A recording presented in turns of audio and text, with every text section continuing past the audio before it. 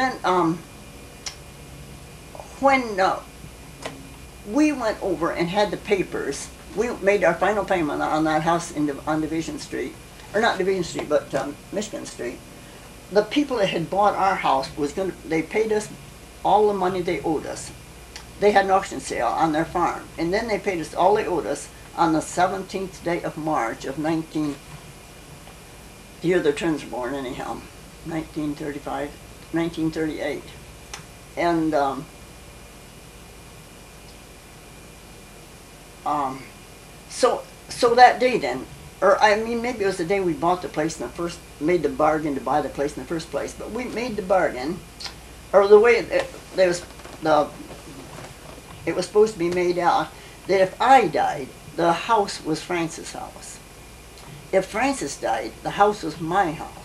Well, after all, if you've got four little tiny kids, um, why not make it out that way? If I died, certainly he didn't. Uh, certainly, I didn't have a sister or a brother or anybody that should come in and get a, a few hundred dollars out of it, or vice versa. And um, and then, of course, again, some people might have had it made out in such a way that um, he would only have half of it, and my half would go to my four children. But four little kids, you know, let him have the house in case I die. And uh, well, then and they but they had always sent our taxes Francis Blatt, which I mean I didn't care. Um, so the first tax receipts we had on that house was Francis Blatt. Well, then when Francis died, they sent our taxes to Francis Blatt Estate. Estate. You mean now we've got to have this all um, whatever it is they do straightened out? Or why didn't they say Helen Blatt? because Francis died. Evidently, they knew he died because they put it Francis Blatt Estate. Otherwise, they just just sent it Francis Blatt. And um, so I wondered, you know, why. So, and as much as I hated to spend fifteen cents to call Charlotte, but fifteen cents, after all, would have bought a loaf of bread. and uh, so, but I called Charlotte and I talked to the man and I said, why did you put it Francis Blatt Estate? Oh, well, he could have put it um, in my name. But anyhow, I let him know why not then. And so from then on they did. Well, then, what they do, do then, they make out the taxes up to Charlotte. So they send this whole stack of taxes over to Eaton Rapids to the city clerk over there. Then the city clerk over there mails them out to each person. So here, um, um, they put my taxes and mail them to Howard Blatt.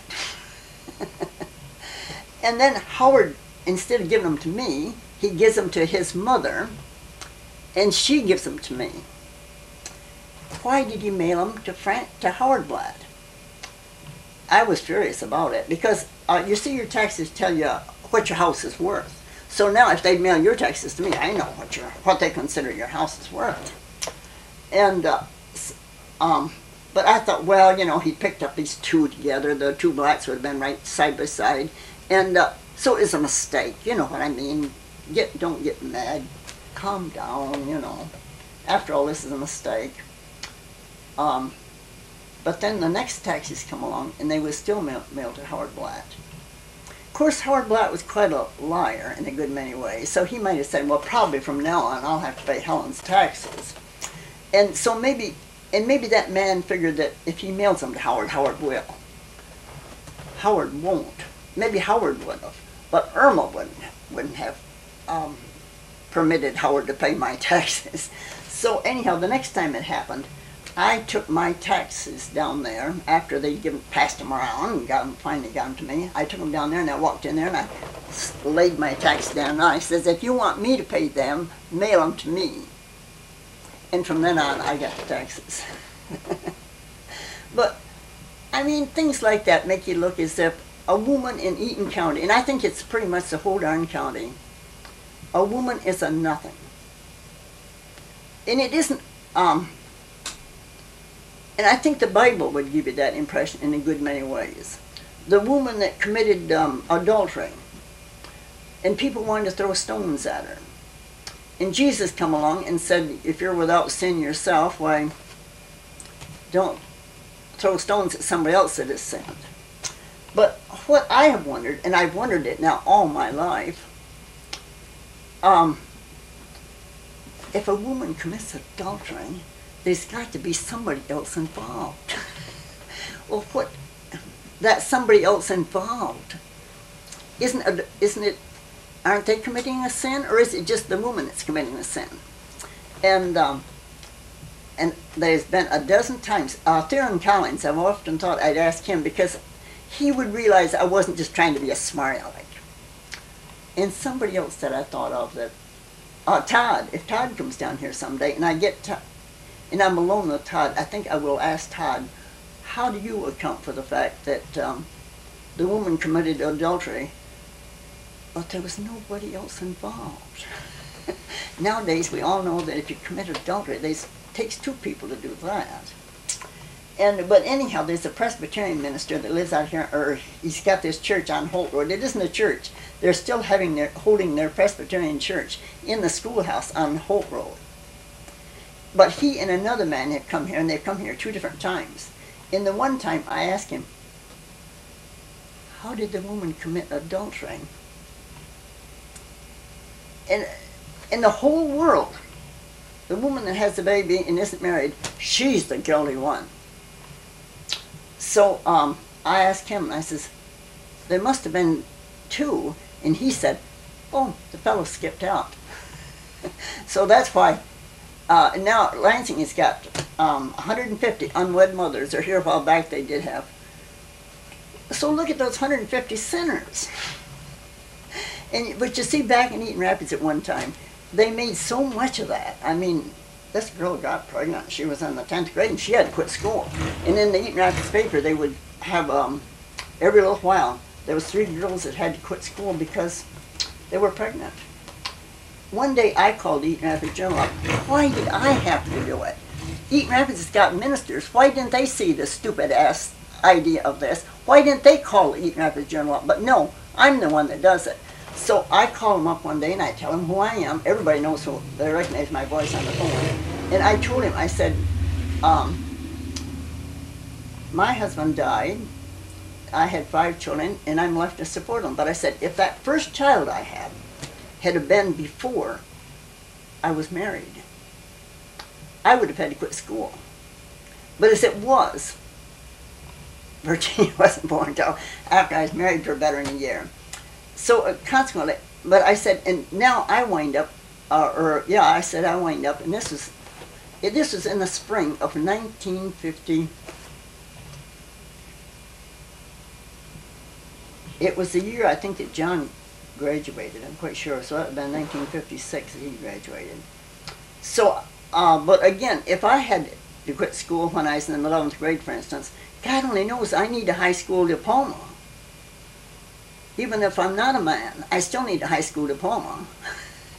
and um, and I said, and to me, um, I well then they put in the paper that these four girls had to quit school. That there was four that particular time. There's four girls had to quit school, and I said. Um, those girls may wind up in life where they need that high school diploma and they won't have it. Um, and I said, and why do you? They never, the boys never have to quit school. And he says, well, if they're on the football team, they they take them off the football team. So if uh, you're one of the eight or ten boys on the football team, well, you can go out and so you know, well, you you can still graduate. You still can go to school, but you can't be on the football team. And he says, well, that's the way Eaton Rapids likes it. And I says, that's not saying very much for Eaton Rapids. And um, well, anyhow, it wasn't too long after that, and the state of Michigan passed a law that you can't make a girl quit school because she's pregnant unless you can, unless you have, some other means of her getting her education. If Eaton Rapids wants to make a girl quit school because she's pregnant, they've got they could have her come in at eight o'clock in the morning and get her history class, or they could have her come in at four thirty in the afternoon for her English class or whatever. Then they could make her quit school, but otherwise they can't. And, um, um, but that's a law in the state of Michigan. So, um, and then it wasn't too long after that, and Eaton Rapids paper went out of business. and so, when they couldn't spread their S-H-I-T around, I shouldn't have said that. when they couldn't spread this gossip around, but you see, when it came out in the paper, four girls, of course, I didn't live in Eaton Rapids. If I had lived in Eaton Rapids, I would have went to the woman next door, or the woman that graduated my class. Well, who are these four girls? But to me, I probably wouldn't know anyhow, and it wouldn't make any difference if I did know it was Susie Jones or Brown or Smith or whoever. I mean, it wouldn't mean a thing to me, because I wouldn't know these girls anyhow. Or I wouldn't know who their mothers was. That would be the what. Um, so to me, that was a disgrace for the people of Eaton Rapids. But again, when I say Eaton Rapids doesn't um, treat women fairly. Maybe again, I haven't lived over there now for six years, so what's going on over there if it's now? Why? I don't know. Can't say. So, um, and then in Jackson High School, um, the girls had gym suits that come down to their knees. Then they had socks that come up to their knees. Well, in gym class, the girls would take these socks and roll them right down to the top of their gym shoes, which their gym shoes come up here in their ankle area. And um, but one day, the principal of Jackson High School walked into the gym class, and here's probably 60 girls, and the, a lot of them with their socks rolled down to their top of their gym shoes. But the principal said, any girl that's caught with her socks rolled down to the top of her gym shoes will be expelled from school. Well, now I can go get you my yearbook every year that I was in Jackson High School, and I can show you pictures. My brother, he could have had his pants clear up to here. And, um, but again, um, why did they put up with, why did they let him get away with that? Of course, nobody complained, probably. Um, but again, it goes to show his old-fashioned um, lack of brains attitude he'd been a, but, um, well then another thing that he did in school too, um, and of course this is this brand new high school, there's room for 2,000 people to sit there in that auditorium. So when they have an assembly, here's 2,000 students sitting there in that auditorium, or almost, because the gym or the auditorium wasn't quite full. There was a few empty rows in the balcony, I think. And then he would point, you! And he'd keep pointing, you! You talked. Leave it. Well, he points over here in your direction. I hadn't talked. But yet, it, somebody in this area had, evidently. And what I realize now, that man could not see that far. That was just a bullshit idea of his. It was his way of um, trying to get a message across that he's God Almighty. And uh, well, eventually, then somebody will stand up and walk out the auditorium. One day, I was sitting there. Well, you see, here's maybe three rows or four rows of students here, and the, a teacher sits back here, and so she marks who's absent. If I hadn't been there in my seat one day, she would have um, marked I was absent that day from assembly, which I'm not supposed to be. But one day he pointed, in my direction. But there was nobody sitting on either side of me. There was nobody sitting directly in front of me. And to begin with, I would at that time I would have been embarrassed to death to have been sent out of the auditorium.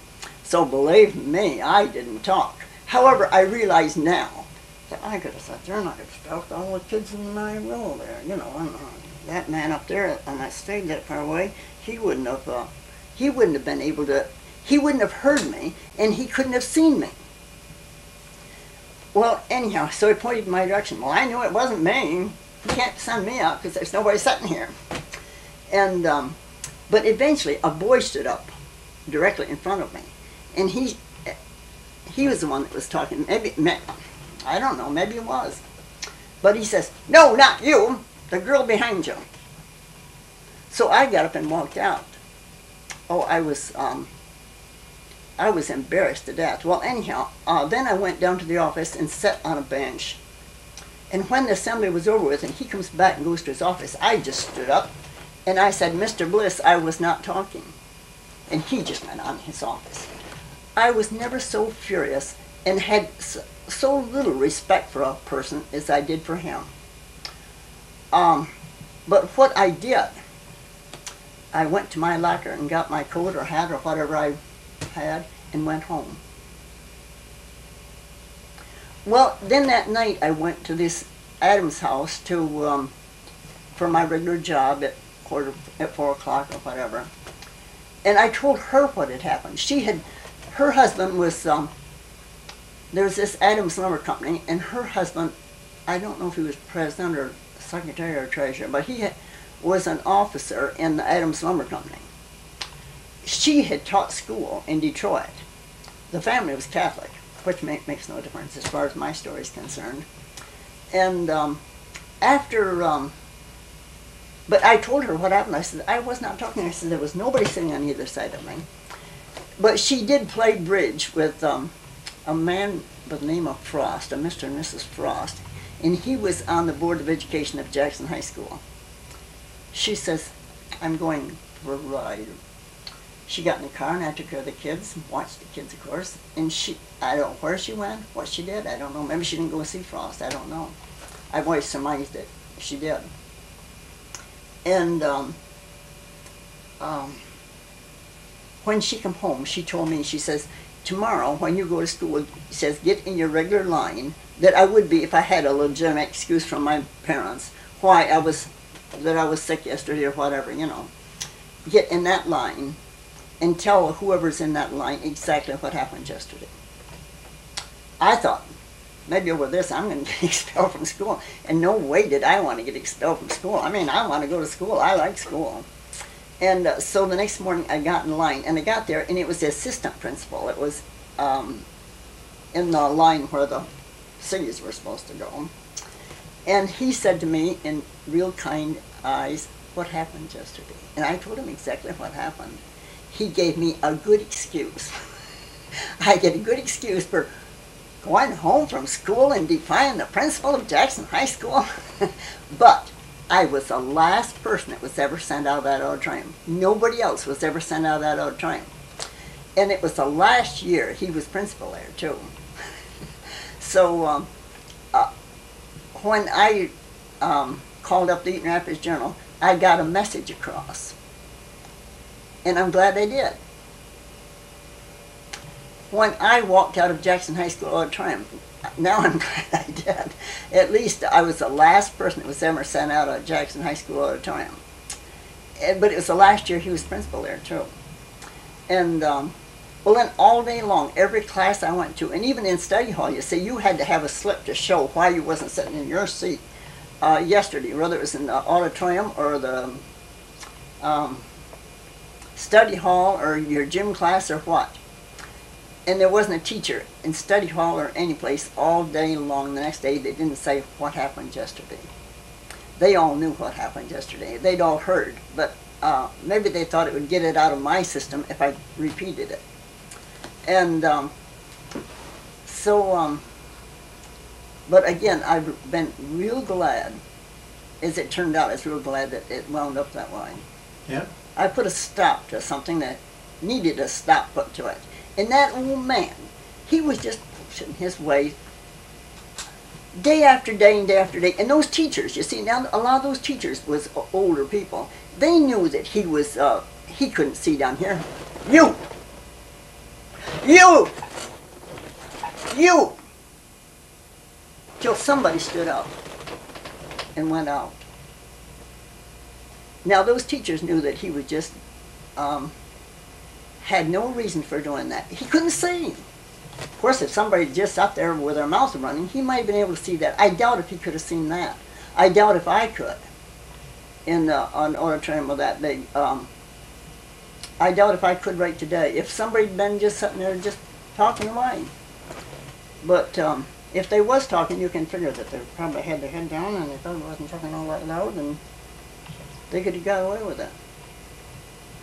Um, yeah, I've often thought since then, if I'd have just stood up and said, Mr. Bliss, I was not talking. Who was I talking to? Uh, I wouldn't be surprised right then if he'd have been so mad he'd have wound up and he'd have had a stroke or something like that himself. But um, no, I think probably I handled that in about the best way possible. If uh, I hadn't have gone home, and if I'd went to my next class, but he did, but he was that was just his asinine way of treating her. That was his way of. But it makes me feel today as if a lot of things that happen today, these men beating this um, black fellow up out in California, if this man hadn't stood back there with a camera and got all of that, it never would have happened. You know, the fellow could have said, yes, I laid down on the ground and they beat me and beat me and beat me. And, um, no, it's his imagination. But the man stands back there with a camera. But even after they've showed it on TV, I mean, we've all seen that man beat. And, but I've had women try to tell me that um, it would make a difference how you stood with your camera. No, if I beat somebody like this, I don't care where you stand with your camera, you can see that I'm beating somebody. But uh, um, here a long time ago, um, oh, I say a long time ago, I've forgotten how long ago it was. Um, I think it was in the Reader's Digest. It told some man that uh, had a donkey, and he picked up a rail and he hits the donkey. Then he throws the rail down and he says, "Giddy up!" and the, and the donkey walks off. And somebody said, "Why did you hit him?" He says, "I I wanted to get his attention." And that is what happened out there. They've got his attention. They got this man taking the pictures got his attention. When I walked out of high school or a auditorium, I got the school's attention. When I called up the Rapids Journal, I got their attention. And um, there's some people, you have to get their attention. It might mean that you hit them with a rail.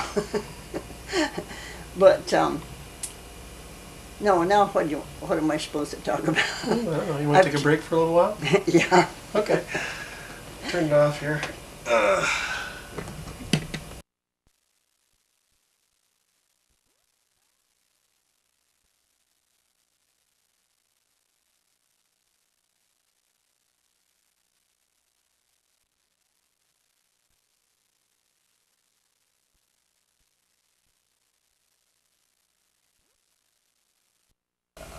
When I was in Moscow, we went to the monastery out of Moscow a little ways. They took us on a tour bus, and we crossed that Trans-Siberian Railroad. We crossed the track. so I've never been on the Trans-Siberian Railroad that goes from Moscow to China, but I crossed the track in a bus. So um, This is the second time? Or? The second time, yeah. The first time we didn't go to a monastery at all.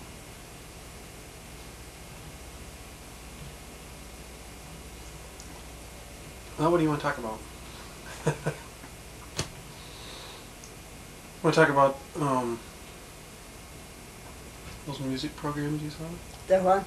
The um, John Philip Sousa, Oh yeah, Spike Jones. yeah. Spike Jones was first. That was um. No, no, John Pope Sousa was first, because your dad and I went there, or not your dad, but uh, your kid's dad. Um. That, that was in Jackson. hmm I wasn't still going to school. So it's before you were married then? John Pope Sousa never uttered one word. So you can't say that he's got a deep voice or never heard his voice. But John Philip Sousa's band, if you could get the whole band in this room here, they could have played and you would have sat back here in the corner and they would have played so soft and nice that you would have loved it. But on the other hand, if you put them out here in the middle of a 10 acre field, they could have played out there and you'd have loved it too. But I mean, his band players were talented, definitely. They knew when to blast off loud and when to play soft. So when would, this would have been about what, nineteen thirty? Um, I kind of think it was the spring of 1931. I kind of think it was in the spring of the year that we got married, but um, but it was his last tour, wherever his last tour was, whether it's 19. Um, he died shortly after we got married, I think, because we was taking the state journal then. Um, who was the man that wrote Will Rogers wrote a little piece in the State Journal every day. And um, but when he, when John Philip Sousa died, he never mentioned John Philip Sousa's name. However, he said we've lost our little March King. And then he said some nice things about John Philip Sousa, but he never used his name. Hmm. But it wasn't necessary to use his name. Everybody, anybody didn't know who John Philip Sousa was, wouldn't have known who it was um, if his name had been there. Um, and of course, I, I'm positive I've still got my program. I'm positive I have, because I mean, no way would I ever throw that away. Um,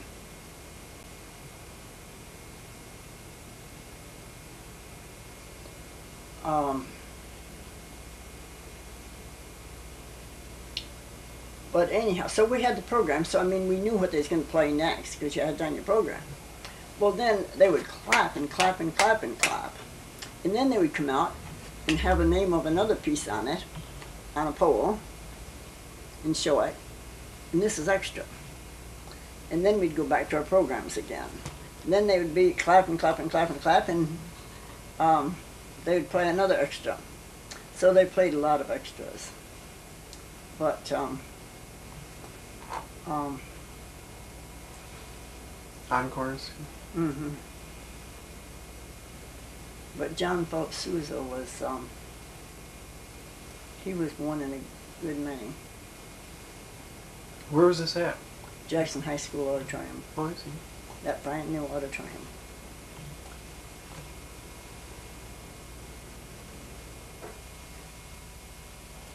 Yeah, reading the life of uh, Stalin's daughter is quite interesting.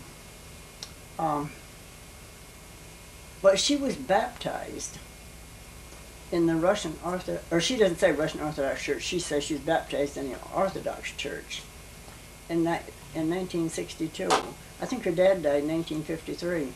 But oh, he would turn over in his grave if he thought his daughter had ever been, because that's one thing that the communists decided to do away with was religion.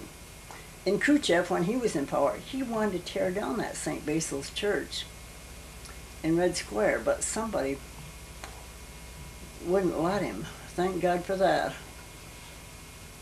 Oh, that would have been a crime of all crimes. Uh, when I was in, went to in Russia the first time, um, I thought to myself, I'm not going to go in Lenin's tomb. I mean, to me, that wasn't that important. But then one day, um, I was in Red Square, and there's a lot of people lined up to go in there. So I thought, why not? So I got in line to go in, and um, um, there was a door. No, the door was in the middle of the building. But you come in, and his body laid like this. So you come in, and you walked up two three, four little steps, and then you walked around the foot of his casket, or whatever you want to call it.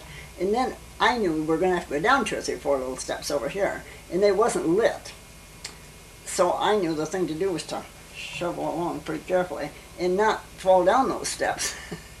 but uh, there was a man standing there, but he took me by both elbows and got me down the steps okay, and then you went on outdoors. But as far as him, as far as the Lenin laying there, um, it looked like he could have just been, his body could have been put there yesterday. Hmm. So, and yet it had been there, um, mm, 1926, I think he died, 26, 36, 46, 56, 66. Um, been there pretty close to 50 years. So they must have him really. I don't know what they do to preserve a body that long, pickled or whatever. Um, Put them in pickle juice. But again, um, what they said was you can't talk in Lenin's tomb. And a, a fellow in the shop, I mean, he made a lot of laughs about that. However, the fellow shouldn't have laughed so loud. I didn't say anything, but um, I went in um, Lincoln's tomb in Illinois, and there was a big sign up when you went in, please no talking. And everybody, and of course, again, you don't see Lincoln, but you walk in around where his body is. Um, and nobody, but you're not supposed to talk there either. Well, then you go down to Washington's, um, where Washington is entombed down there at Mount Vernon. And uh, I don't know if there's any signs up there that says no talking. However, if people do very much talking, the guards, no talking, please.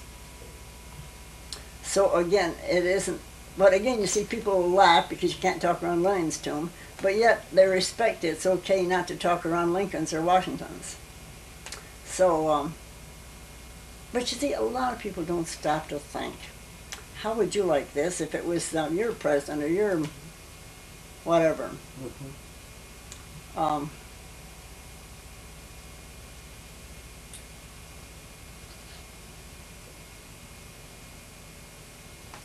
but on this trip to Russia, I missed so much of the things I should have been able to see. However, they went a lot of the places they went are places that I've been into anyhow. But I would love to have gone again. St. Isaac's Church, for one thing, I'd like to have gone into that. Bet- Mhm. But I've been there once. I've been into the Hermitage, which was really the winter palace of Peter the Great. Then we went. They took us by um, boat out to the summer palace of Peter the Great, but we come back by bus. I remember that. Oh yeah, and then one time when I was there the first time, I rode on one of these boats that um they kind of float on the water, but then when they start them up, it raises the boat right up. Hydrofoil? Hydro, hydrofoil. I've heard of those. So, um, but now we don't ever seem to have any hydrofoil boats, do we? I mean, I never hear anything about it. I mean, maybe, maybe we do. But uh, that's Well, I think one of those boats that goes to Mackinac Island is Oh, is it? something like that. Raises Hmm. right above the water. I couldn't really say for sure. But, um, why don't you tell me uh, something about Occam? We haven't really talked about Occam and Katie, like when, oh, about the time they got married, how did they meet and They met at the YWCA, Young Women's Christian Association in Jackson. Um, something went on there. I don't know what it was, but that's where Katie met him was at the YW. And they used to have a cafeteria there, but um, and of course Occam working for consumer working at Consumers Power might have uh, gone there to um, eat. Um, but it kind of seems to me as if it was a meeting of some sort.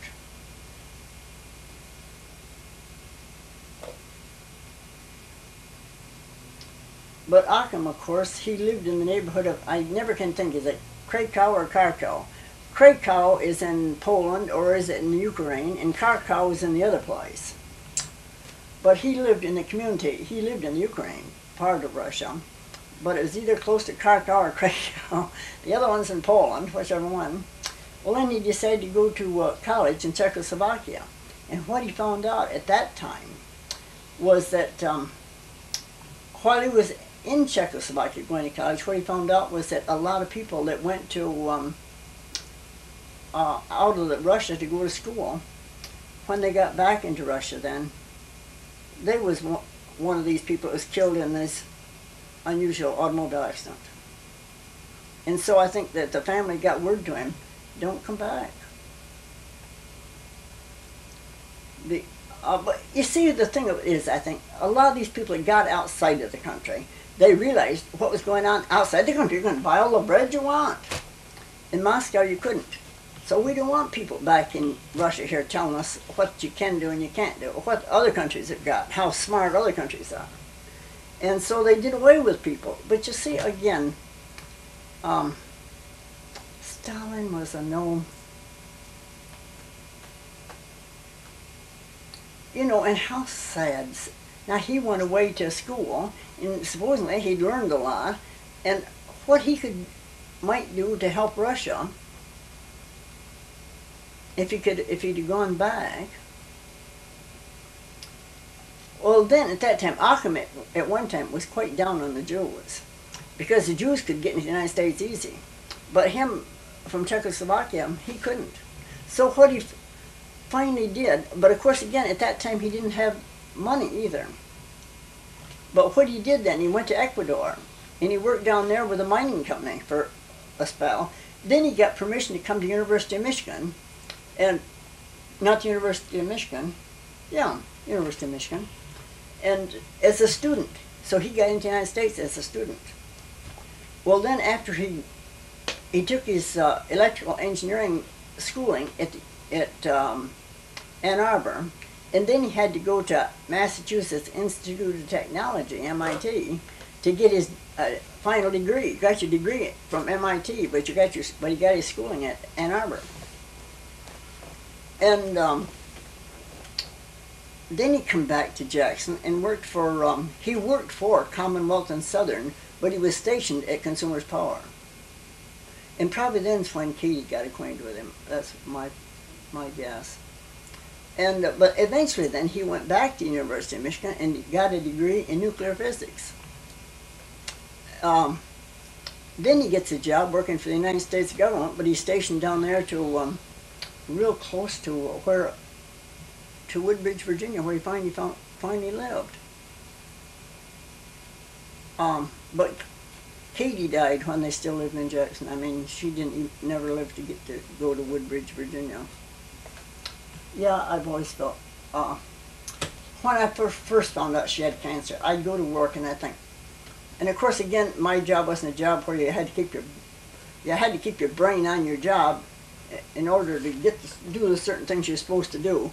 But it, however, it wasn't.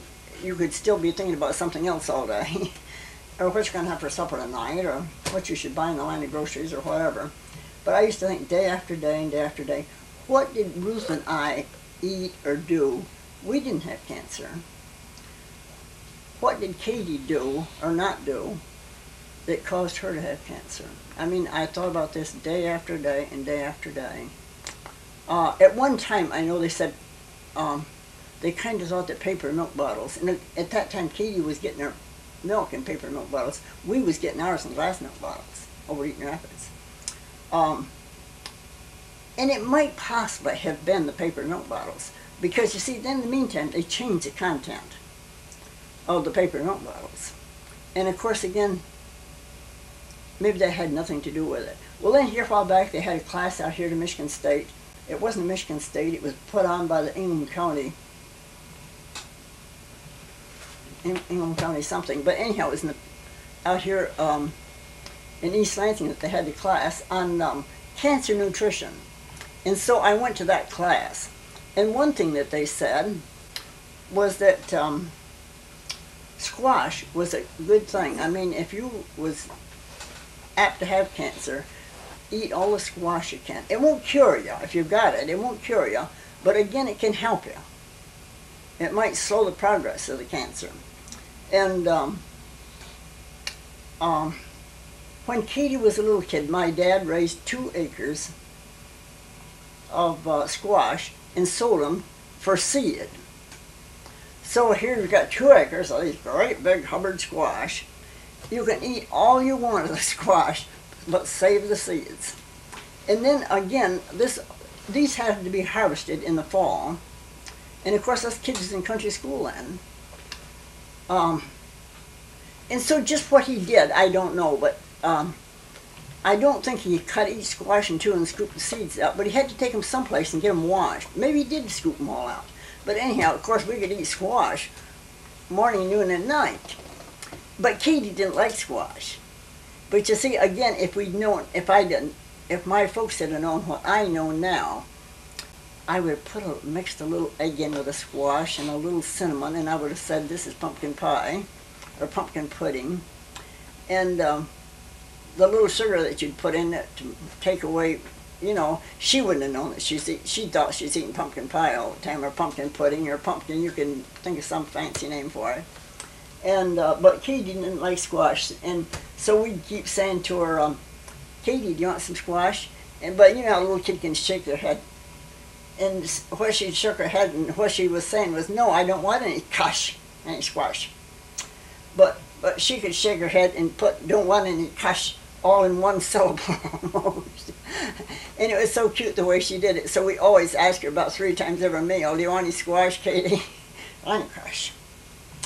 Um, but I, but the rest of us see we all like squash and eat a lot of squash, and that might be the thing that saved Ruth and I. I mean, I don't know. And of course, um, at this point in time, nobody else knows either. And maybe there'll be a time in history that um, we could look back and say, yes, it was a fact that she didn't eat the squash. But now they feel that if um, you should eat this yellow vegetable, but I kind of think now they might feel as if uh, carrots is just as good for you, or possibly even pumpkin is as good for you. Although you don't hear much about pumpkin, but um, um, the big Hubbard squash, you do hear about that. But if um, if I had, or you know, if I was, if it was, if I was the one that was managing the family dinner table, I would have um, done something. You could put a little lemon extract into this, or vanilla, or something into this stewed, stirred up pumpkin, and call it, give it a different name. Uh, you know, I remember something, um, something I fed my kids once. Uh, oh, I know. Once upon a time, I would take, um, uh, I, I would buy these little tiny round green squash, and the kids wasn't eating as much of that is what I figured they should. So I took the little, I'd take a little squash and cut it in two and cut the seeds all out. And then I would take a little ball of hamburg and stick in that. And then stick a carrot in for a neck or something. But this is bird's nest. And my kids love bird's nest. They eat bird's nest. Every time you want to fix it, they eat bird's nest. But again, you can do the same thing with anything that you that a kid doesn't want to eat. And of course, uh, with the squash, anybody could have um, um, added a little vanilla to it or something to give it a different taste. Um, and think of some fictitious name, fairy pudding or something. You know, I'm sure Katie could have eaten a lot of fairy pudding or.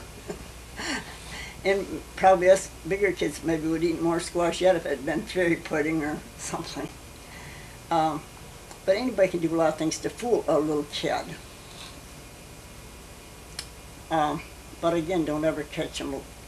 Don't ever let them know that you're lying to them, because that's not right. If they don't, if you don't, if you cheat cheat them on uh, squash, well, you might cheat them on Lord knows what. But for their own good, sometimes a little lie does, isn't a bad idea. Where did they live? In uh, they lived in Eaton Rapids. Too, No, no, no, they always lived in Jackson. Um, they lived in a White House, and after they'd sold, after they'd moved away from Jackson, after Ackerman and Stephen had moved down to Virginia, the people that bought the house painted it dark red, um, and trimmed it in white, and it looked real sharp. But when Stephen came up here and saw that house, he said, "Oh, those people that bought that house, they just ruined it, because they painted it this dark red." and uh, so, I, of course, I never said anything. That's okay. They ruined the house, but the house looked real sharp. Huh. The people who bought it. The woman that lived next door to them, I moved, I went there once, and there was nobody home. And uh, and I said to the neighbor, and I says, "Well, how's Katie?" And of course, everybody knew she had cancer. And the woman next door, she oh, she was so disgusted at Ackham because she keeps asking him, "Well, how's Katie?" And he keeps saying, "Oh, about the same, about the same." But the woman, what should Ackham have said? Well, she's not as good. It looks like she might live the month out, or she might live the week out, or the um, six months out. He couldn't say that. But that's what the woman wanted him to say. And she thought it, he just wasn't being nice, or he would have told her that.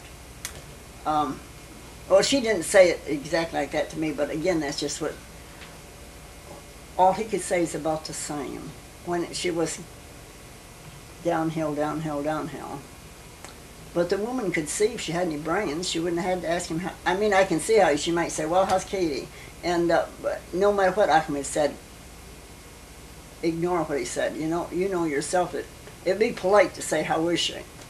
But no matter what he said, she knew if she had an ounce of brains in her head that Katie wasn't getting along as good as she. I remember I went there once, and Katie was sitting on the edge of her bed.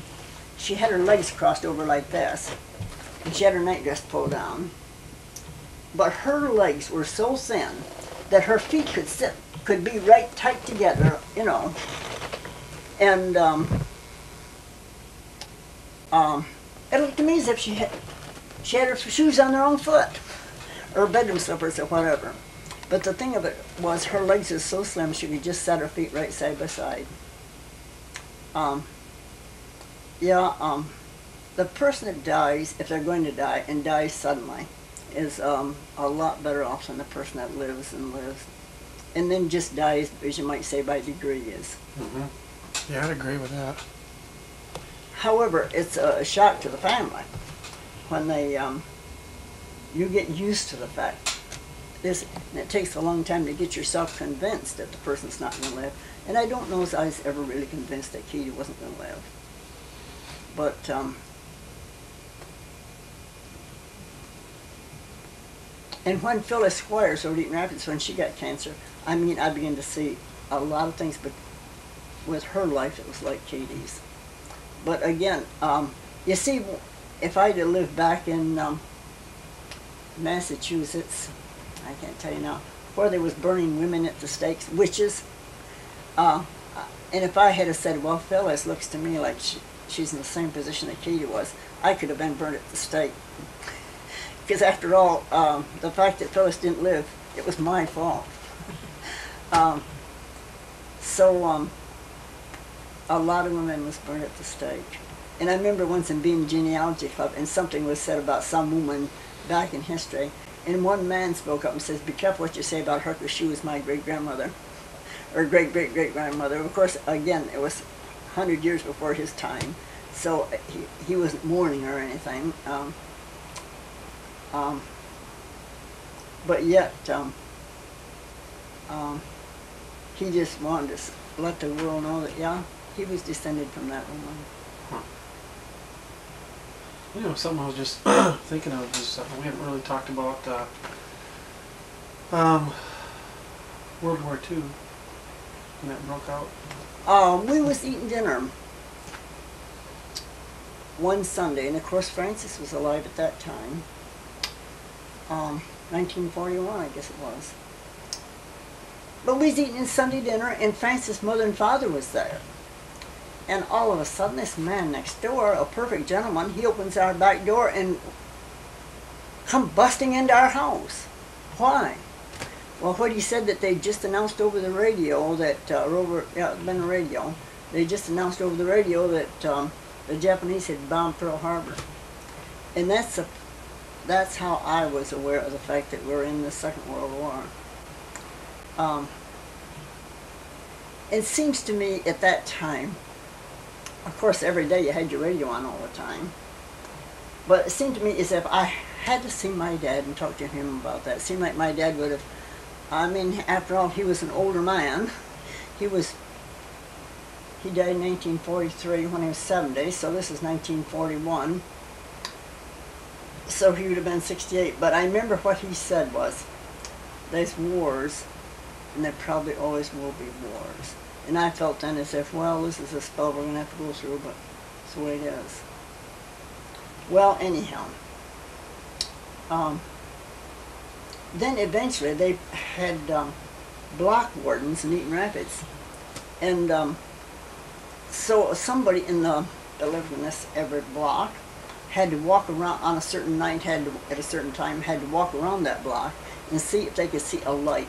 And everybody was supposed to have um, if you had the lights on a certain room, you had to have the windows covered so that nobody would know that the light was on.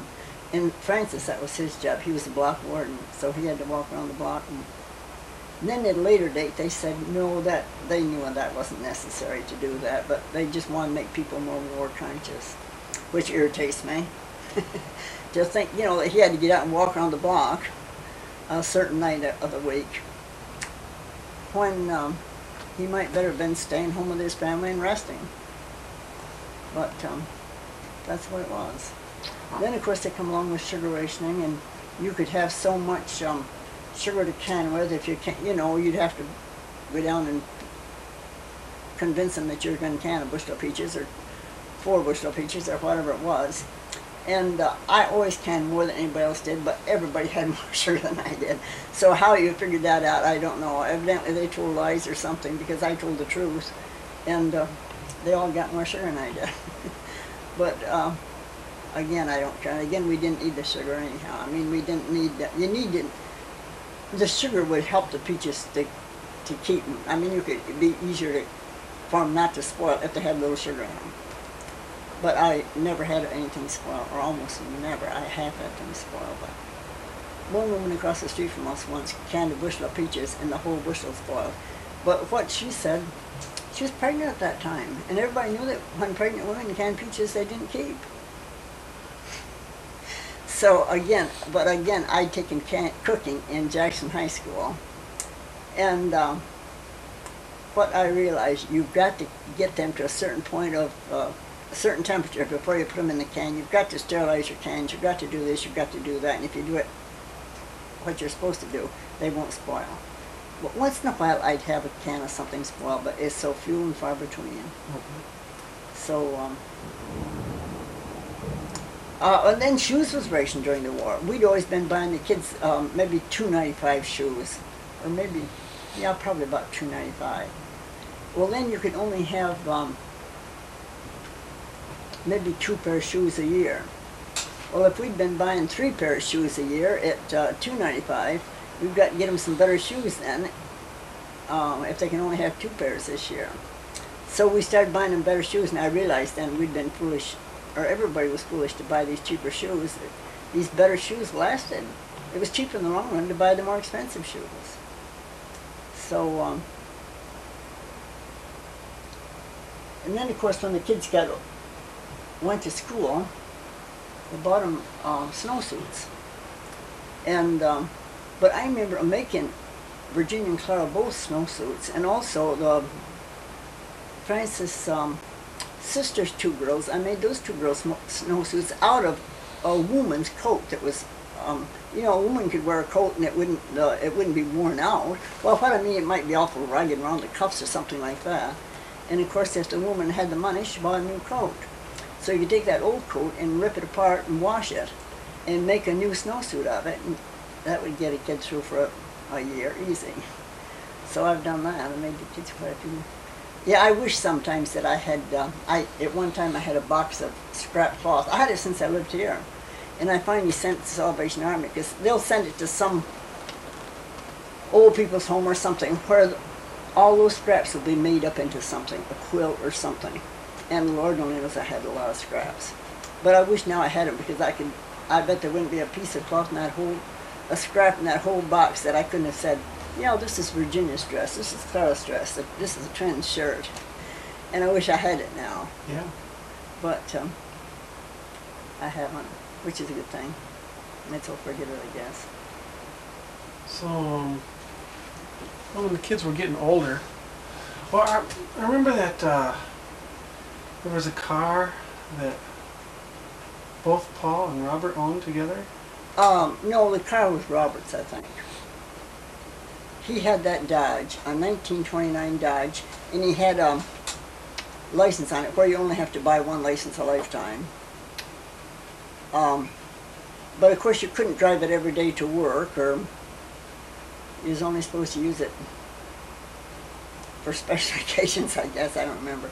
But anyhow, um, somebody come along and said that he was driving it more than what he should have, and he was not. I mean, right then, right then's when I should have st- stood up and um, really spoke my piece. Some fellow over at Charlotte was driving his way beyond, but Robert was not. And, uh, but again, it took me quite a spell to get to the point where I'd stand up for myself or stand up for what I believed. But eventually I got to the point that I didn't mind telling anybody what whatever. So, uh, uh, but you see, men could stand up. Now, if his dad had been alive, he could have said, he did not. And they, that was acceptable. But women that do that are bitches. And no woman wants to be a bitch. But finally, I made up my mind. I don't give a damn if I am a bitch. I'm going to still uh, do the things that I think. Um, and when you get to that point, you're you've progressed. So what happened then? The, Well, eventually he sold the car, but he didn't sell the car though until after he went to service. But he got a chance to sell it. must have been quite a while because I remember the car. Oh, you do remember? it? Or else maybe he had a second one after that. No. Um, he went into service in 1956, the year he was born. Uh, and how long he had the car after that, I, I don't know. But he was living out in Colorado, and he said um, if um, oh, somebody had told John that they would um, give him so much money for that car two hundred dollars. It seems to me is what it was. And John had went down and sent a telegram to Robert that he had a chance to sell it for two hundred dollars, but for some reason or other, they just had put two, and uh, I guess they hadn't really mentioned the real price. So what they wanted, so they, the telegraph company phoned me when I was at home and wanted to know was that supposed to be two hundred dollars or two thousand dollars that that car was being sold for. And of course, they didn't know what year it was or anything. But if it was a new Dodge, it would, or well, comparatively new, it could have been sold for two thousand. But they wanted the telegram to be right. So, and I said, it, wasn't two thousand. It must have been two hundred. and um, but anyhow, Robert um, sent a message back, sell it. So that's what. And who bought it? I don't have any idea at all. I don't remember me sending the money to Robert. I don't remember. Maybe the. And maybe I did. I mean, maybe the man. I just don't remember. Wasn't John in a pretty bad car accident about that time? Uh, John was in. Um, um, John was with another boy. And they, and I think it was John's car that got smashed up, wasn't it? I mean, you'll have to ask John about that. Um,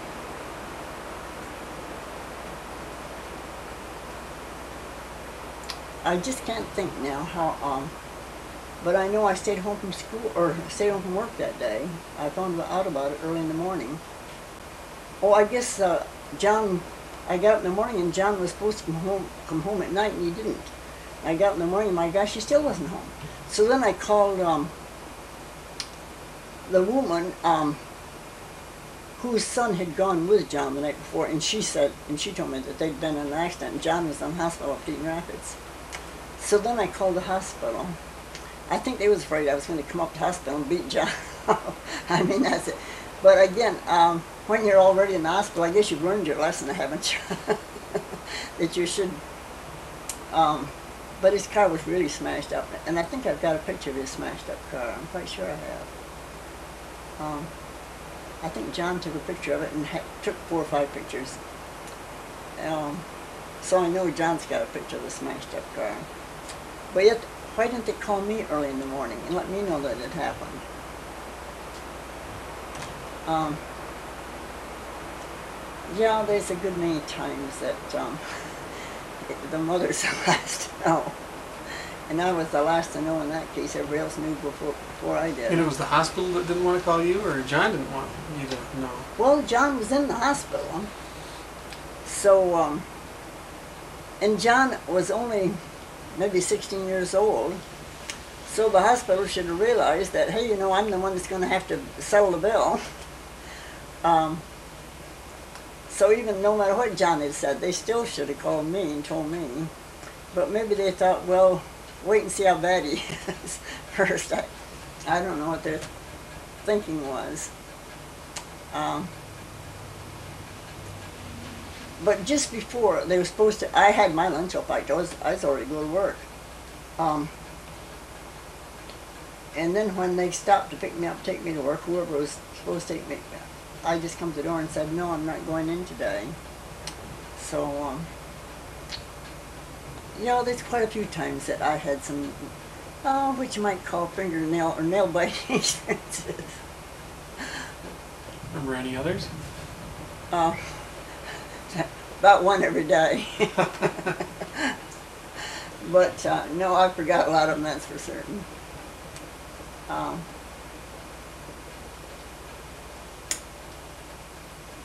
yeah, one day um, the twins, let me think now, how did that go? The twins were sleeping in, uh, oh, they wanted to sleep in their uh, little tent. They bought a little army tent. Um, you, but you bought it in two pieces. I think it's three dollars a piece. Well, then you can take two of them and fasten them together at the peak. And then each of them had a piece, so they could make a little, um, like a little two-man tent. And they had it out in the backyard. Well, then they decided to let the dog sleep in the tent with them. Well, of course, then early in the morning, or sometime during the night, the dog gets out. And it was the time of the year when you're not supposed to have your dog loose. So I was laying there in bed, and the dog come up to the back door and barked. So I got out of bed, put my bedroom slippers on, my house coat to go out and get the dog, and by the time I got there, the dog was gone. So I went back and got back in bed. This is maybe four o'clock. Well, then the next time I heard the dog bark, that time I just hopped out of bed and grabbed my house coat and went barefooted.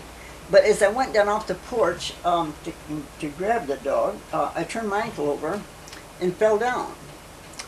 So then I, I think I got the dog that time and tied him up or brought him in the house or something. And then I got in the bathroom and I felt like, or what my feeling was, I'll stick my foot in the, under the faucet in the bathtub and rinse my feet off before I get back into bed. And, um, but by the time I got in there, I realized I might faint. and uh, so then I went in the front room and Clara wasn't home. Virginia was sleeping in the front bedroom alone. So then I went in there and I wake Virginia up and I say, I think I'm going to faint. So I go out and sit down in the chair in the living room and pass out.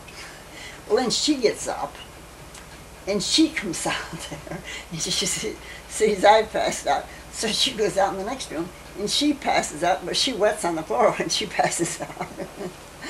and um, so I come to and nobody there. Evidently Virginia didn't even wake up. Well, then I must have passed out again. You know, when you pass out, you, you're there and then you're not there. The next time I come to, she was sitting in the living room chair there. And she said, um, should I call the folks upstairs? And I said, yeah. So I don't know if she dialed them or, yeah, she probably dialed them on the phone and told them. So they both come downstairs.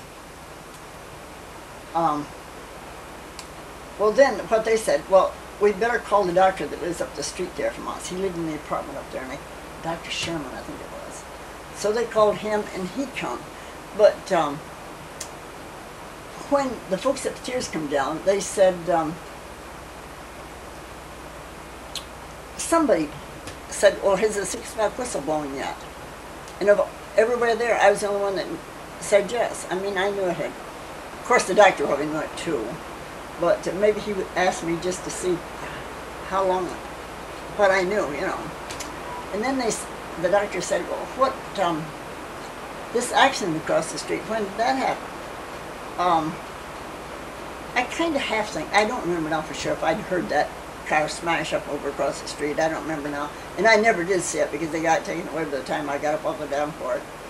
But anyhow, um, the way they left it is I supposed to go down to the hospital and have um, my ankle x-rayed at um, 9 o'clock or something, I forgot what. But in the meantime, I had to go to the bathroom, and I realized my ankle was all right. You know, it was pain, painful, but it wasn't broken or anything like that. I could get to the bathroom.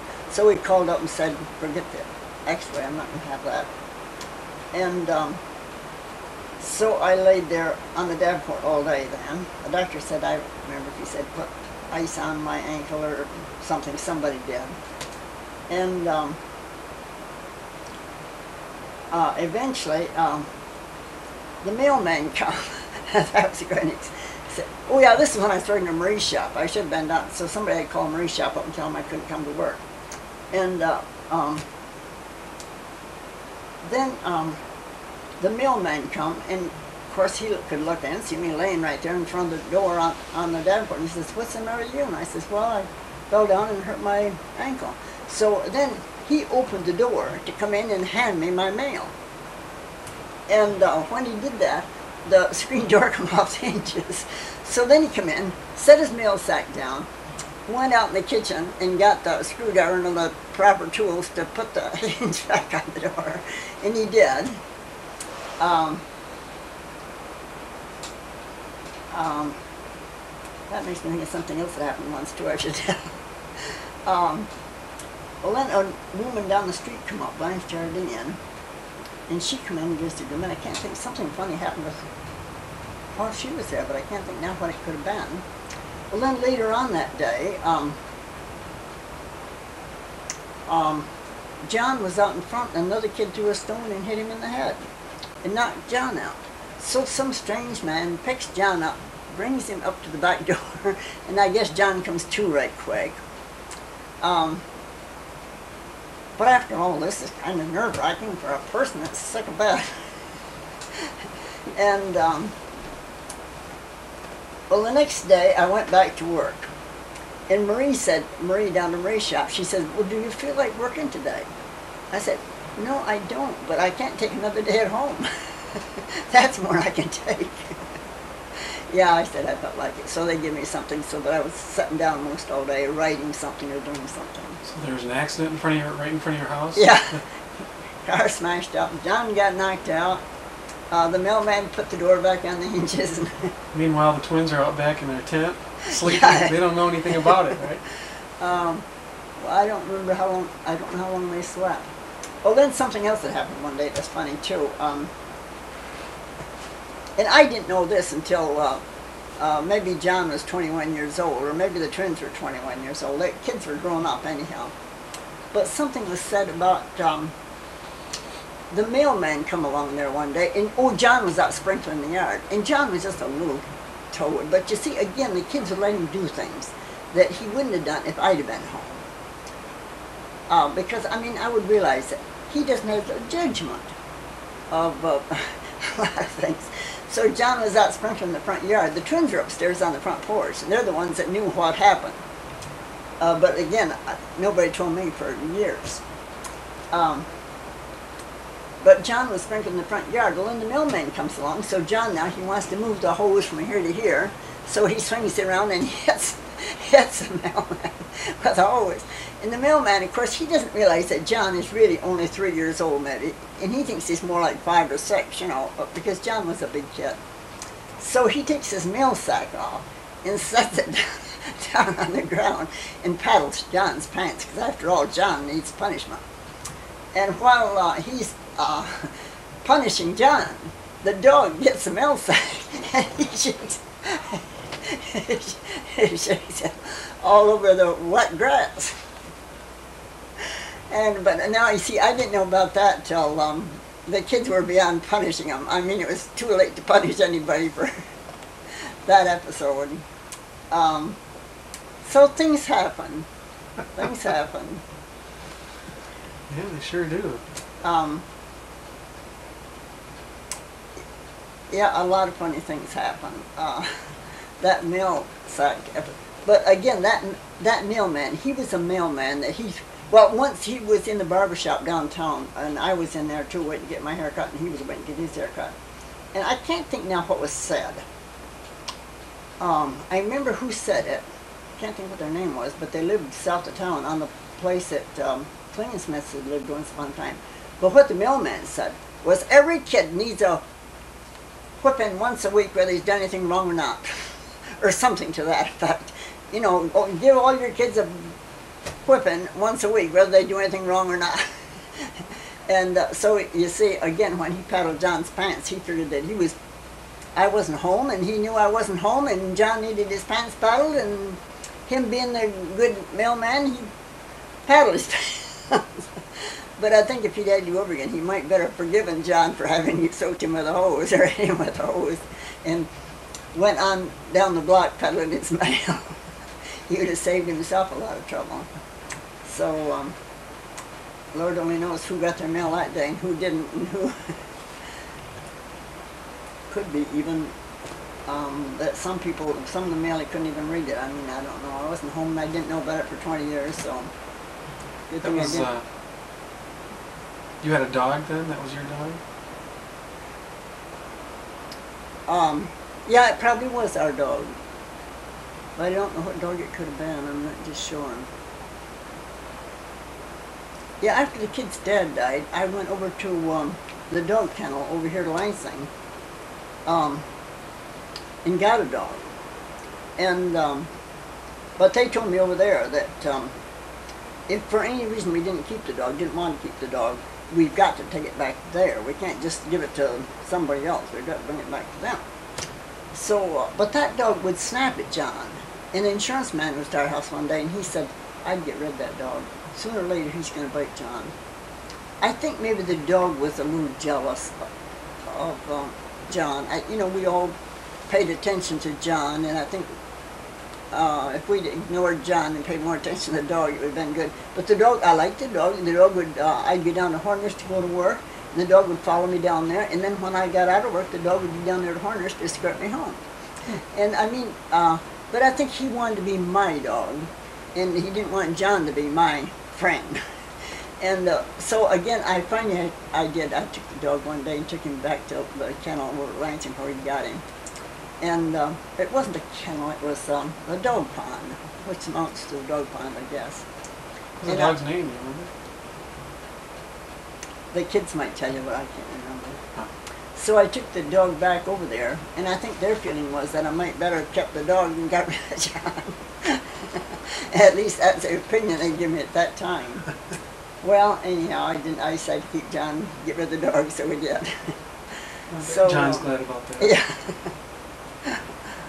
At least I don't think John would have been happy if we left him over at the dog kennel. Those people, not over there anyhow. So, um, yeah, things happen.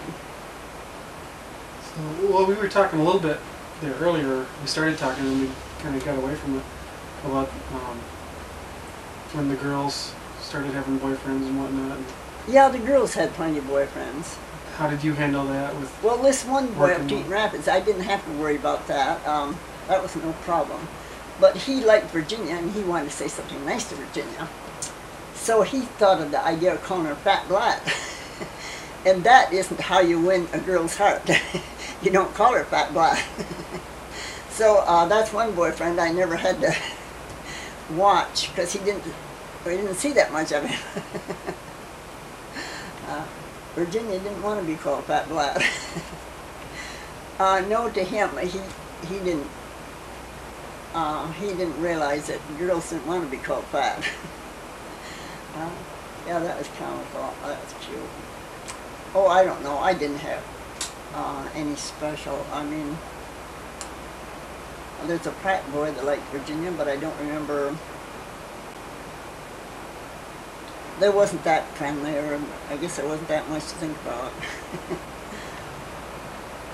so. Uh,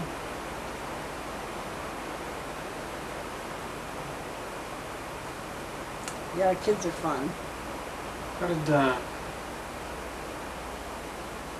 they eventually meet their husbands? Um, of course, Ormond lived right there in Eaton Rapids and went to school in Eaton Rapids and was Okay. in the same grade as Clara. But your dad, how your dad ever got acquainted with Virginia, I, I'm just not sure. I think he met her at the. Didn't she work in an ice cream stand? Uh, yes, yeah, that's it. She worked at a place where they sold, um, not even real sure where it was. Kind of seems like it was down on the street where go to the island. And, um, yeah, so again, we saw a lot of Al. And, uh, and everybody liked him, of course. It wasn't only Virginia liked him, but the whole family liked him. Yeah, I feel bad a good many times to think that the kid's dad didn't live. So much of their lives, I mean, he never saw. Because after all, Virginia was only 13 when he died, so. and Carl's only 11 and the twins 8. John was 16 months old, so so John, I mean, he never even he doesn't remember his father at all, of course. So it's too bad. Um, in the twins, right now, they'll tell you that they don't, they hardly remember their dad. I, I think they might tell you that they don't remember their dad at all. But I think at that time, I think it was a case of forget this person died. I mean, because it, a lot of people in Rapids, I think, thought, well, if I could just forget that Francis, I ever knew Francis, I'd be better off. You don't just forget somebody. Somebody you've lived with for 15 years and had five children by. You don't forget them. You're going to remember them as long as you live. Um, but uh, again, you see, the world has learned a lot in the last 50 years or 40 years or whatever. And the world is still learning a lot.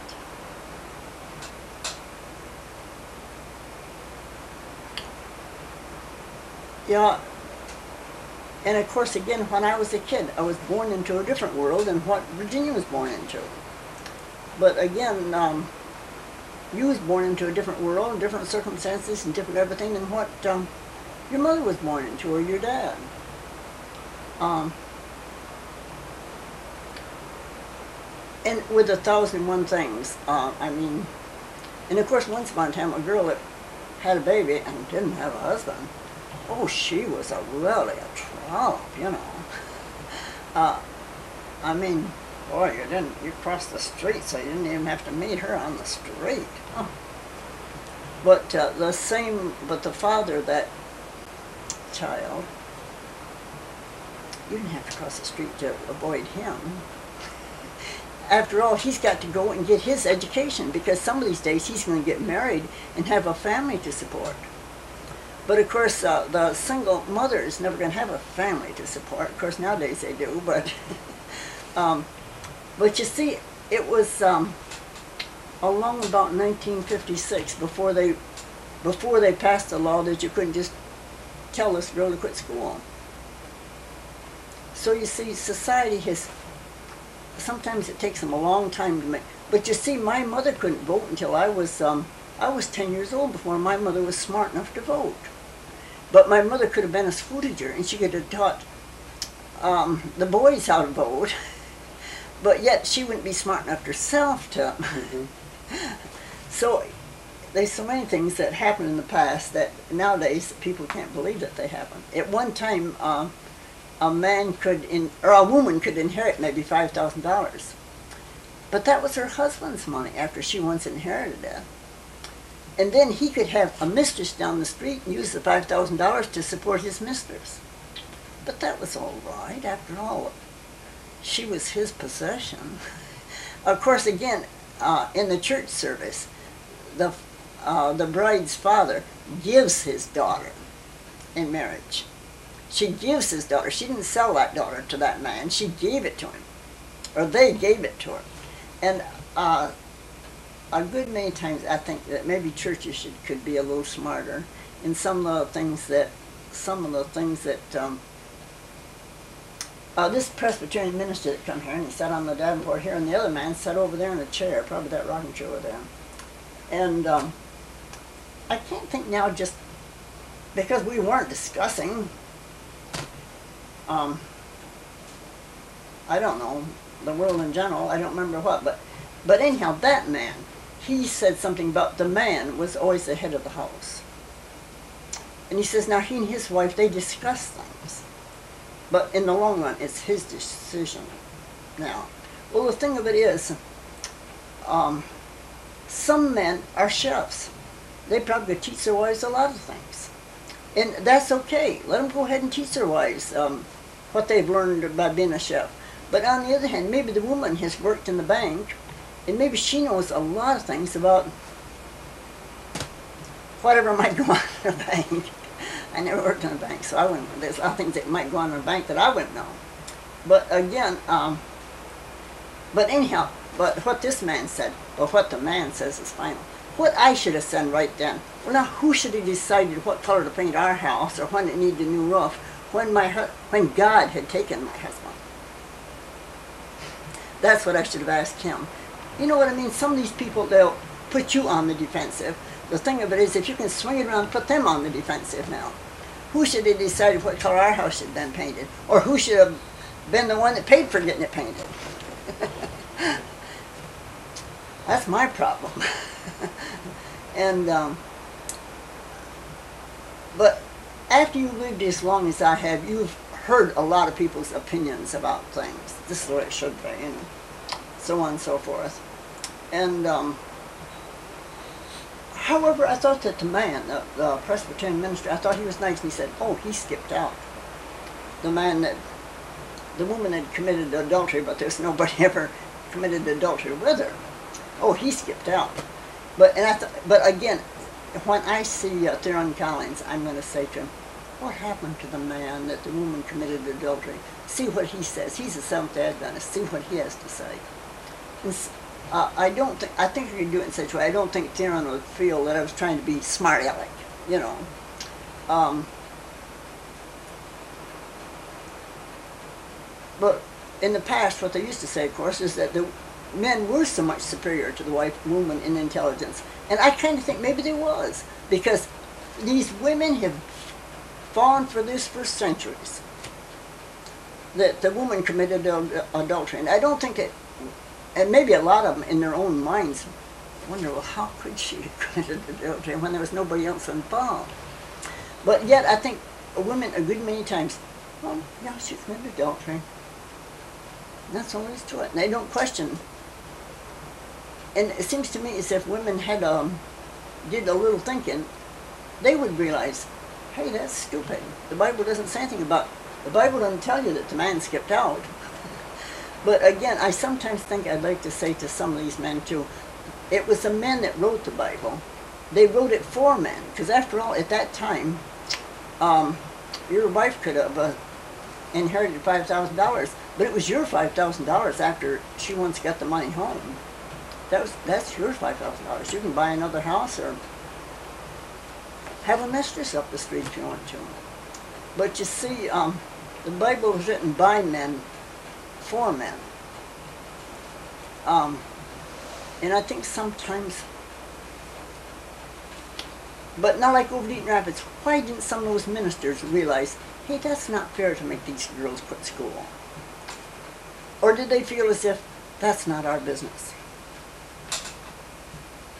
But it seemed like sometimes when the, the ministerial association, when they got together, somebody could have said, well, do you think that's right that Eaton Rapids Journal does this? Um, and, but as far as I know, I've never heard that it was, wasn't right. And of course, the minute you found out that there's four girls in Eaton Rapids that uh, was pregnant and had to quit school, the next thing is, who are the four girls? but uh, again, you see, I didn't graduate from school in Eaton Rapids, and I think some of these people, I'm going to tell them, I didn't graduate from school in Eaton Rapids. How come Eaton Rapids did this? I didn't graduate from school in Eaton Rapids. How come Eaton Rapids did that over there, or what?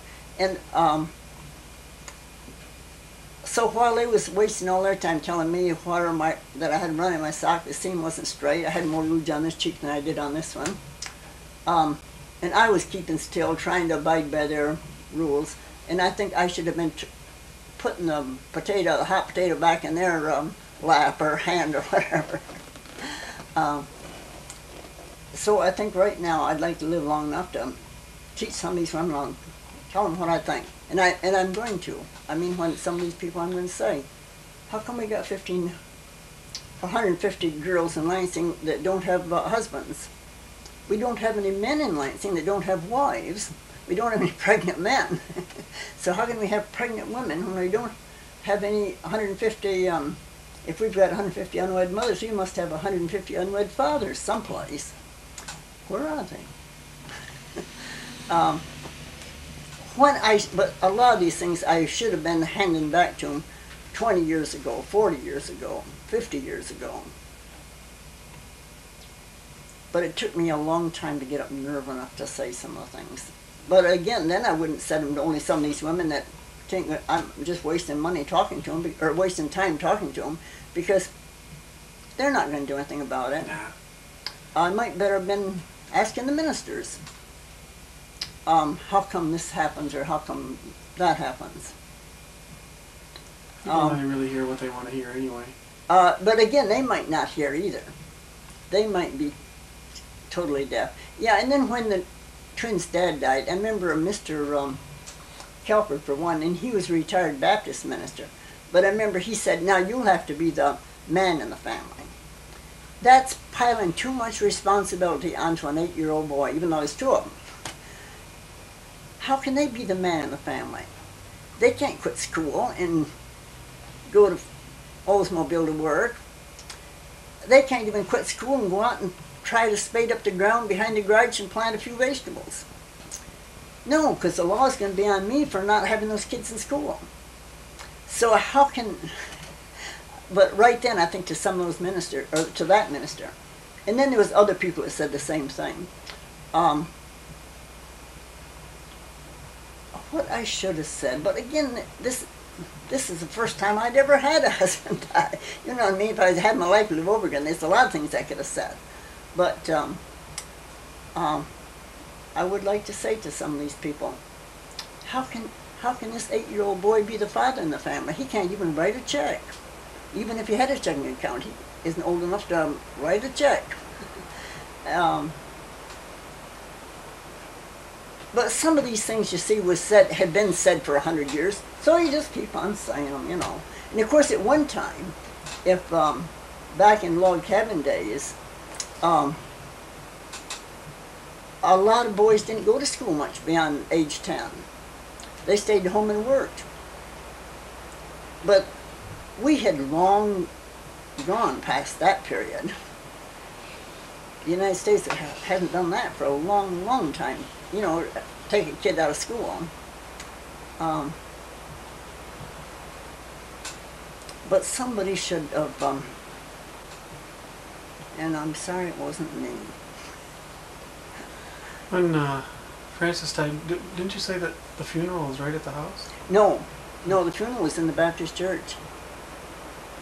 downtown Eaton Rapids? Eaton Rapids Baptist Church. It's on um, the, on the way to Charlotte. Of course, Division Street and um, the road to come to Charlotte, they meet right out there. Division Street runs right onto the Charlotte Road, and the church is right there on that corner, on that pie-shaped piece of ground. No, he had a um, church funeral. Is there a wake or something at your place?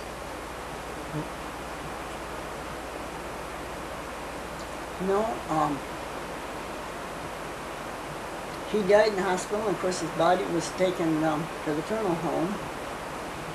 And then the day of the, and it was in the funeral home until the day of the funeral, and then they took it to the church. And so the funeral procession went from the church. And that, again, that was one of the biggest funeral processions I'd ever had in Eaton Rapids. But when uh, my mother's father died in 1909, I think right then, I think that that was one of the biggest funerals that they'd ever had in uh, that locality. But his funeral, to tell the truth, I never stopped thinking about it. But oh, at that time, I know his funeral would have been at home. Because when they first began to having funerals and taking the body to the funeral home, now you see, I remember that. After all, you didn't think much of your husband, or you wouldn't have his body taken to the funeral home. Um, or the wife, or whoever died, you know. So uh, anyhow, a good respectable family would have had the bed and the dresser and all the furniture moved out of the bedroom, and the casket would have been in the corner of the bedroom. Um, to tell the truth, I don't think I ever went to a house funeral. Of course, again, I was the type of a kid that if I'd gone to the funeral, I probably would have shed more tears, even though I didn't even know who the person was. And so I think probably um, anybody else's child would probably got to more funerals than what I did. Um, and maybe not either. No, I went to Grandma Creole's funeral, but Grandma Creole's funeral was in the Methodist church. And when my father's father died, us kids had nothing to go, so of course we didn't go to funeral period. So uh, the, they was going to take us so that we'd see, um, so that we would see Grandpa Collins um, in the casket, but then they never did. I don't know. Um, he died, I think, in the tenth of May. He would have been buried in a few days. He was a Mason, and so he had a Masonic funeral. Um, but as far as I know, his funeral was over Uncle Howard Collins' house. Um, but the fact he was a Mason could, could it possibly have been in the Masonic colony? I don't hardly think so. But again, I'm not sure.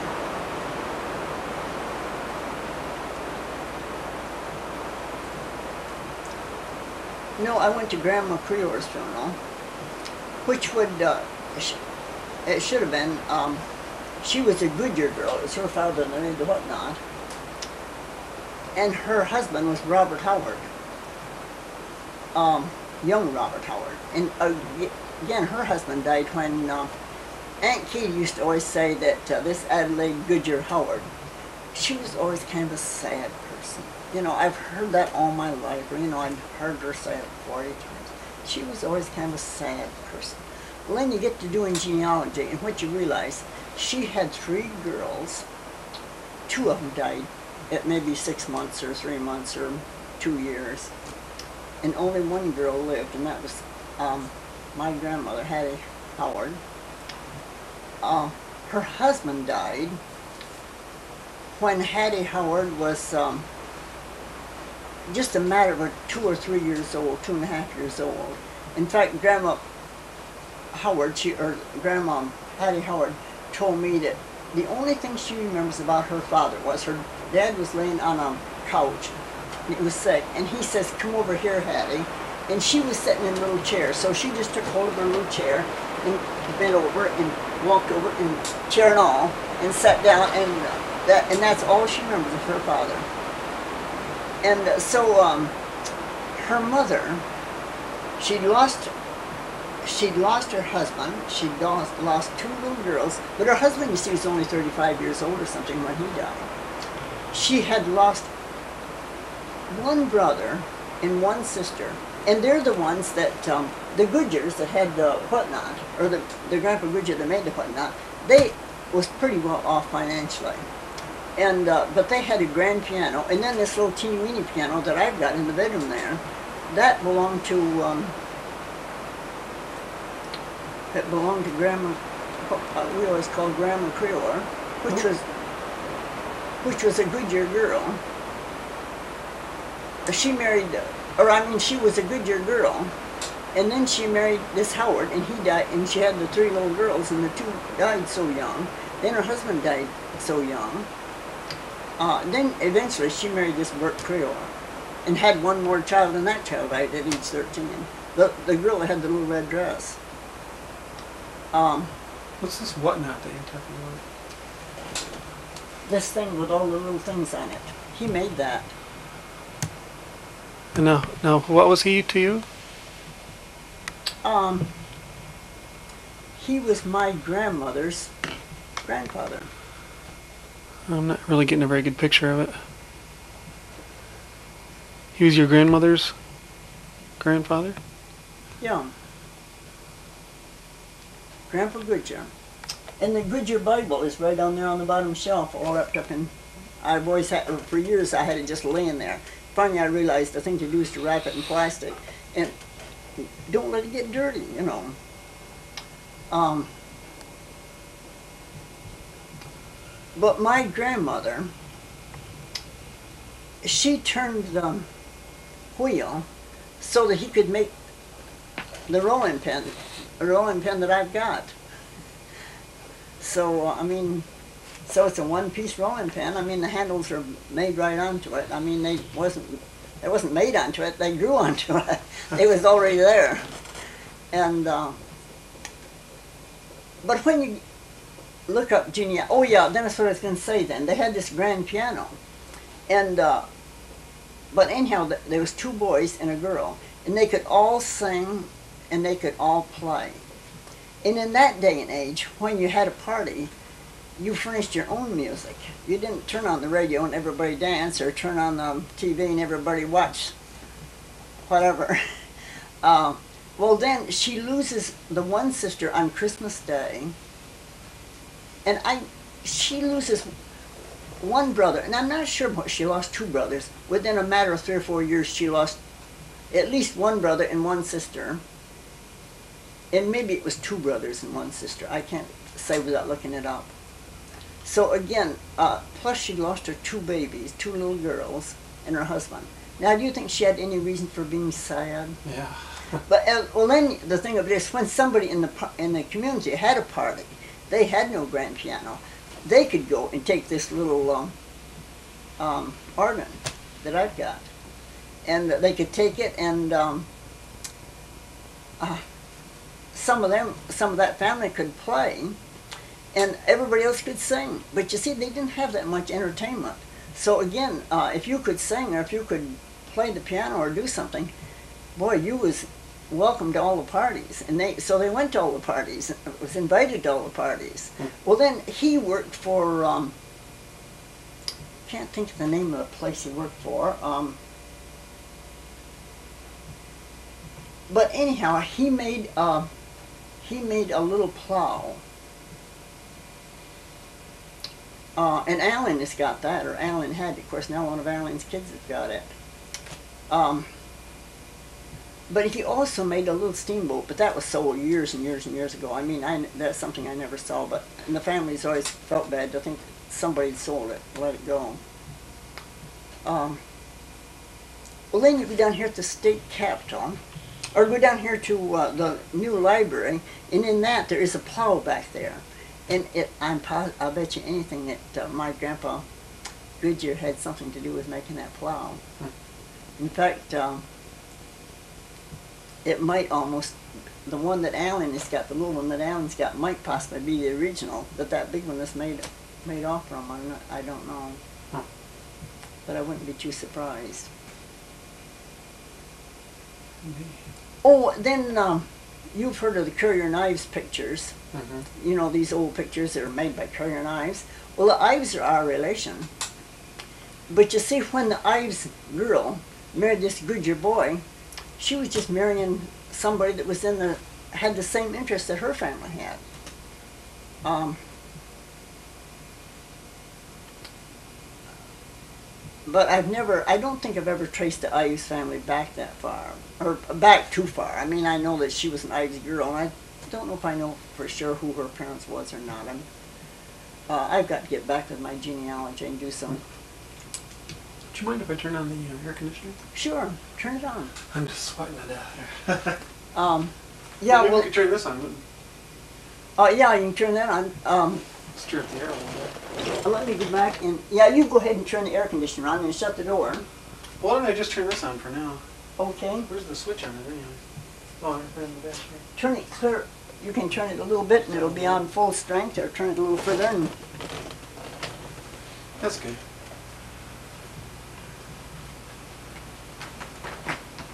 Yeah, I try to get along without the air conditioner when I can, but now right now you see me with no sleeves, I'm not that hot.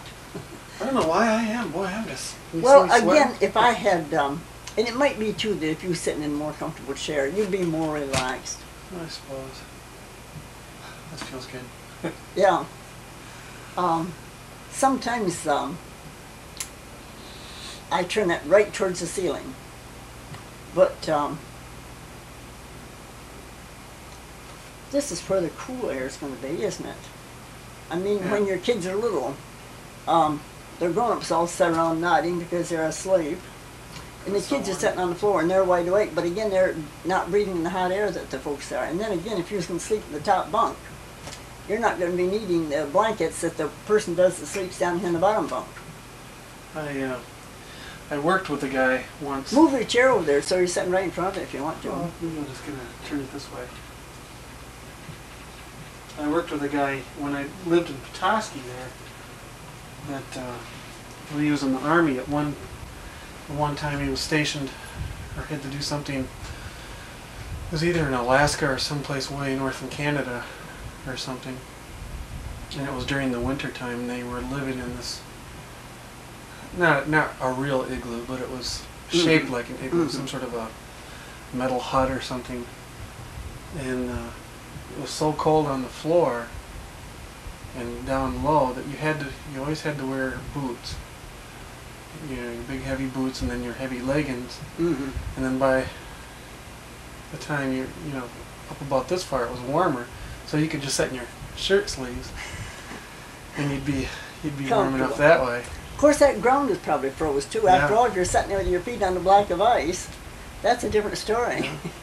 That was quite interesting. But the they would have bunks in there, and uh, the guy that slept on the top bunk could just barely breathe because it was so warm. Yeah. Whereas the guy in the bottom bunk was all My feeling is, uh, I've got this book on how to make a um, teepee, but my feeling is that if you'd been living in a long in a 1790 log cabin, or you'd had your choice of living in a good teepee, I think you'd have been about as well off living in the teepee.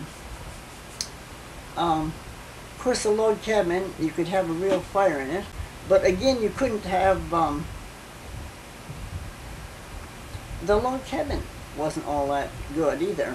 Uh, I mean, they might have window that square. And if you got your glass broke out, sorry, but you can't have another glass.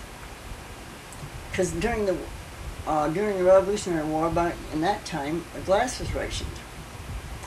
Um, but the teepee, if it gets uh, too warm in here, or if we want some fresh air, maybe it's summertime, and you'd like to have your teepee cool, you can open it up at, at your top up, you know, and your heat's gonna go out. So your teepee's been set out there in the sun all day, but again, you could open that top up, and the heat's gonna go up and out. While um, in the log cabin, if it gets too hot, well, you got these two windows you can open and let the mosquitoes in. So I think probably um, the Indians were just as well off. Of course, eventually they made the log cabins better. Um, but I think for a long, I think for quite a spell there. And then of course the teepee, you could take your teepee down in the spring of the year and you could go over to Lamontville and tap some of those maple trees over there and you could make your maple syrup. And then you could take your teepee and you could go on up someplace else wherever the next crop was harvested. Um, so in some ways, I think that teepee was, pro- and it was the, the woman was the one that made the teepee. And the woman, it was the woman's responsibility to get it moved now from here out to, uh, and I always, I always get a kick out of how different uh, countries have done different things and whose job it is to do what and so on and so Mhm. forth. So, um, um, yeah, it's, um, We haven't talked